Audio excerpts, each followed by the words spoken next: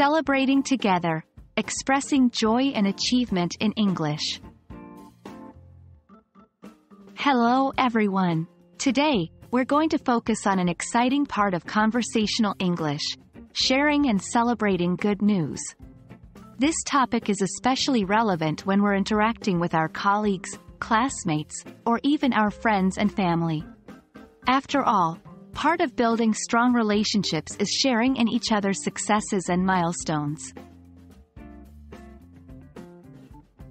We all love a bit of good news, and it's even better when you're the one sharing it. So, how can you share your successes in English? Here are a few phrases that you might use. 1. Guess what? I.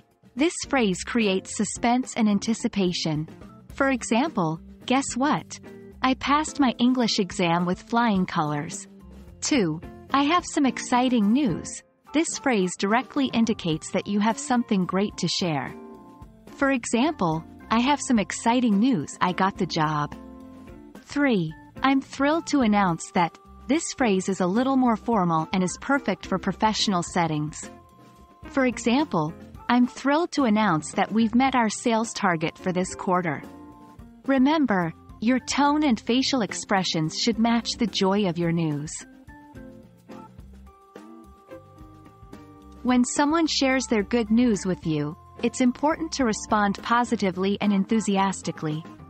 This helps to build camaraderie and mutual respect. Here are some phrases you can use. 1. That's fantastic. Congratulations. This phrase conveys a strong positive reaction to the good news. 2. Well done, you must be so proud. This phrase acknowledges the person's achievement and the effort that went into it. 3. That's amazing, tell me more about it. This phrase shows that you are interested and want to know more about their achievement. Finally, let's talk about celebrating these achievements. Here are some ways to express your desire to celebrate. 1. Let's celebrate. This phrase is simple but effectively communicates the desire to commemorate the achievement. 2. This calls for a celebration. This phrase conveys that the good news is significant enough to warrant a celebration. 3. How about we toast to your success? This phrase suggests a specific way of celebrating, in this case, making a toast. And that's it for today.